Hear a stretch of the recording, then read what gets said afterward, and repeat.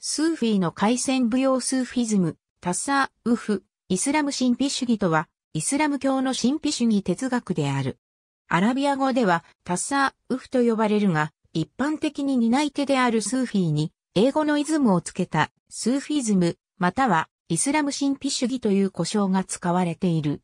ただし、スーフィーたちが神秘を特に掲げていたというわけではない。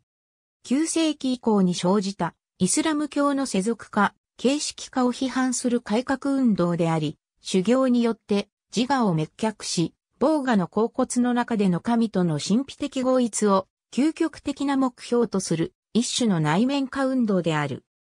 メブレビー教団アリー・イブン・アビーターリブはイスラムの伝統の中でスーフィズムの父と目されているスーフィズムとは9世紀から10世紀頃官僚化したウラマーたちの手によってイスラーム諸学が厳密に体系化され始めた頃、コーランの内面的な解釈を重視し、スンニ派による立法主義、形式主義的なシャリーアを批判した初期のイスラーム、神秘主義思想家たちが、虚飾を排した印として、粗末な羊毛の衣を身にまとったことで、スーフィーと呼ばれたことに由来すると言われる。他にも、正常さに由来するというものや、預言者、ムハンマドの傍ら近くに売積した皇帝という意味で、ベンチの人々などのアラビア語による語源説、ギリシア語で、知恵、英知を意味するソフォスに由来するなども異説もある。スーフィーの道の実践は、同じ語源、WF から作られた、同名詞、タッサー、ウフという言葉で呼ばれるようになった。おおむねスーフィーの諸派は、国家、または社会が容認するイスラム教の権威を必ずしも認めず、自らの直接的な体験によって知ることを求める傾向が強い。スーフィーは特定の宗派、または教義の故障ではなく、もっぱらイスラーム世界において、このような傾向を持って、精神的な探求を思考した人物や、彼らの周りに生まれた精神的共同体もしくは、教団の総称とされるほか、さらに、それらと結びついた思想、哲学、偶話、詩、音楽、舞踏などを指すこともある。諸派の間には、ある程度まで共通の精神性や方向性が認められるが、諸派の間での違いも大きい。預言者ムハンマドにつながる直接的な伝承の系譜をもって権威とする教団もあれば、外的な権威よりも内的な体験を重視する教団もある。スーフィーたちは、しばしばウラマーたちの批判の的になった。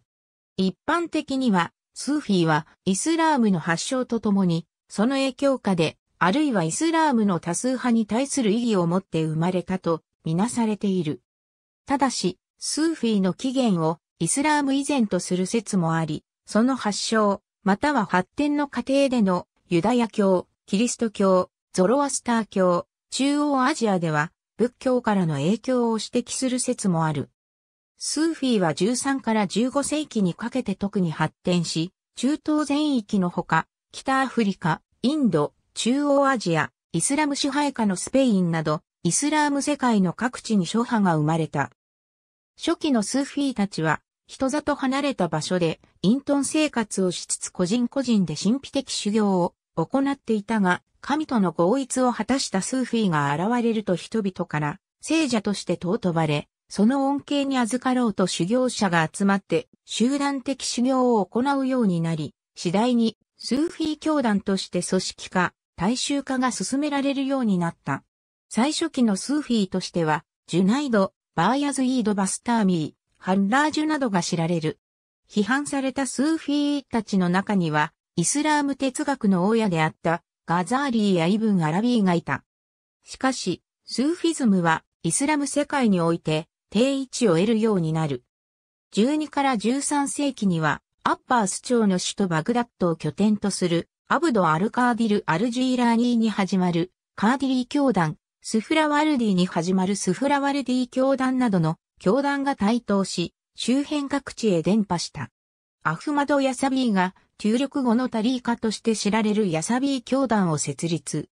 フワージャム・イーヌッティン・チシュティによって、チシュティ教団が設立され、ファリードッティン・ガンジュシャカルらのインドスーフィー思想の影響を受けると、スーフィズムはその後イスラームの大きな潮流となり、後にチシュティ教団はインドのイスラム化において大きな役割を果たした。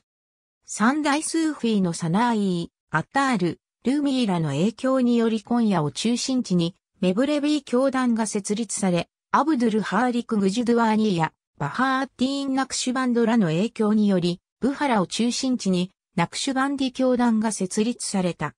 14世紀のイルハン朝時代に、クルド人のサフィウッディーンがサファビー教団を起こし、16世紀初頭にはサファビー朝を開いた。同じく14世紀にマーハーンのスーフィーとシャー・ニーマトゥラー・ワーリーがニーマトゥラー教団を起こした。1380年頃、ティムールがホラズムを征服すると、サマルカンド出身のスーフィー、マウラーナーマリク・イブラーヒームとその後継者のワリサンガと呼ばれる一族は、チャンパ王国やマジャパヒト王国など、東南アジアのイスラム化に大きな役割を果たした。17世紀には、ナクシュバンディ教団の影響が広がり、マレーチのフフィ教団や、18世紀には、バーキラシンのジャフリーヤ教団が設立され、海民放棄を起こすなど、新朝末期の新教の海賊と、東トルキスタンのドンガン人の歴史に大きな影響を与えた。18世紀の西サハラでは、クンタケのカーディリー教団が組織された。19世紀には、コーカサス戦争を主導したミュリディズムが組織された。今でも多くの教団が活動しており、ジャラールーティン・ルーミーが創始したメブレビ教団などがこのスーフィズムを信仰している。しかし、トルコ政府はメウレビ教団の活動を禁止している。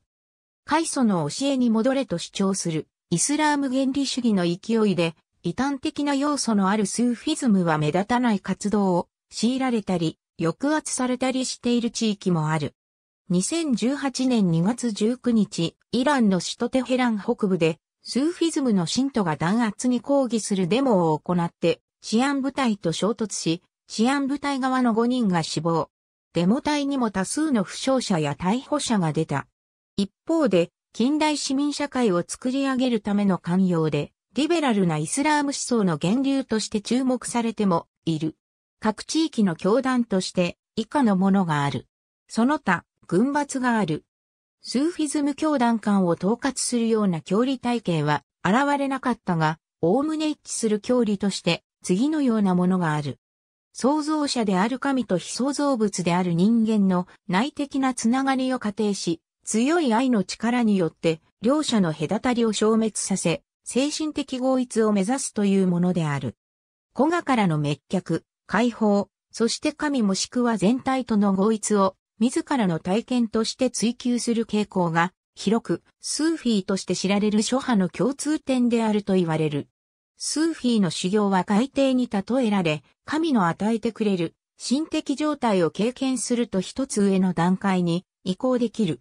すべての海底を登りきると、防河の境地に至り、霊地と真理と呼ばれる高い意識を永続的に得られると考えられた。スーフィズムでは禁欲的で厳しい修行を行う。修行法は様々だが、最も重要な行は、随クルと呼ばれる、祈祷句を読み上げる儀礼である。神に思念を集中し、一心不乱に連投することで、ファナーと呼ばれる境地に至る。また、諸派が構成する精神的共同体の内部での友愛的な絆の強さもスーフィーの特徴の一つと言われる。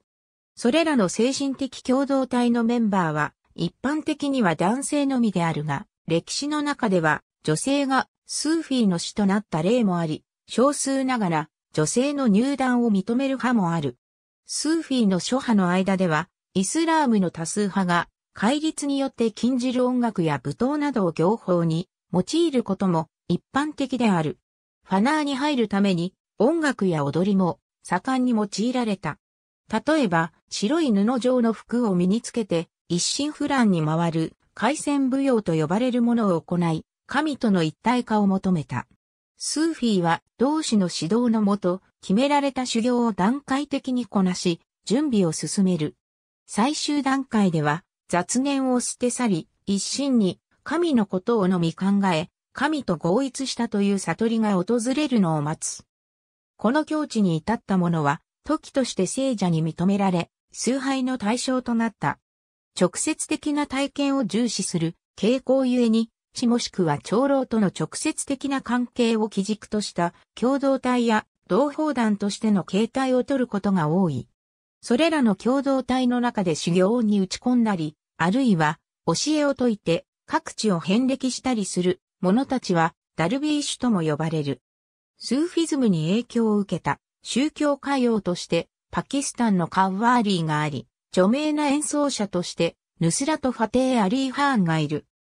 19世紀においてスーフィズムの一大中心地となったトルコでは20世紀初頭、ケマル・アタチュルクラが欧化政策を推進する中、トルコ帽とベールの着用を法律で禁止するなどという施策とともに、ダルビーシュであることは違法とされ、スーフィーの教団は強制的に解散させられた。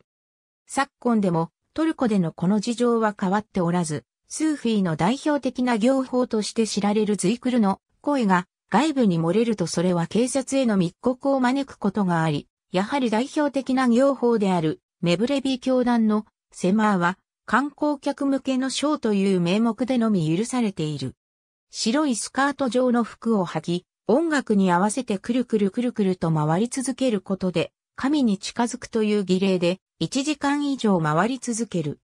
その一方で、ダルビーシュという言葉は、大きな斧や托発用の鉄鍋を腰にぶら下げて、各地を遍歴し、友愛の絆を持って結ばれた、精神的ながらも屈強で勇敢な男たちというイメージを持って受け止められることが多く、ダルビーシュの冒険などという題名の絵本やアニメが、それを物語っている。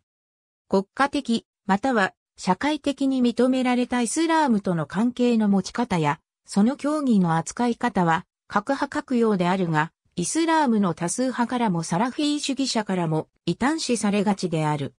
トルコ以外のイスラーム圏の国でもスーフィーを異端とみなすイスラーム主義の台頭によりスーフィーの表だった活動は困難になっているようである。その一方で西洋においてスーフィーの団体が活動する例も見られる。ニザームッティーン・アウリヤーノ病。ありがとうございます。